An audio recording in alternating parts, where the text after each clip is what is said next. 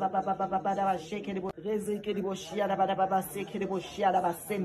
the name of Jesus Christ, I denounce and I renounce the spirit of the Masangoma.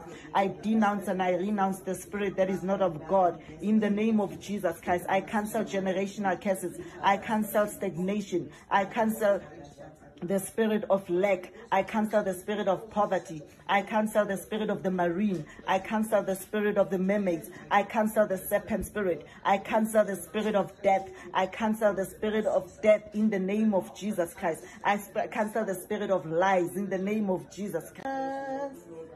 To break every chain in the name of Jesus. Somizi's baby mama Palesa shared a video on TikTok denouncing and turning away from being a traditional healer. She is seen tearing away a cloth worn by traditional healers. She seemingly has accepted Christ in her life and therefore chose to retire from being a traditional healer. She went a step further and burned the cloth while praying in tongues.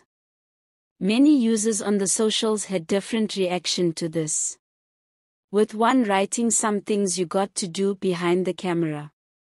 And I couldn't agree with this more. Her tearing and burning the sacred cloth may seem disrespectful to other people who still have beliefs in ancestry and traditional healing. It is for that reason I agree that it would have been a great idea to do this behind the scenes. This video can also raise anger amongst other traditional healers, who may then try to attempt messing with her the traditional way, if you know what I mean. It is well in her right to change beliefs if it's no longer serving, I just feel like it should have been personal and discreet. Yes, she would need to announce publicly that she is no longer practicing as a traditional healer, but, as for the video, it wasn't needed to be seen by the public. And I'm saying this, with regard to her safety.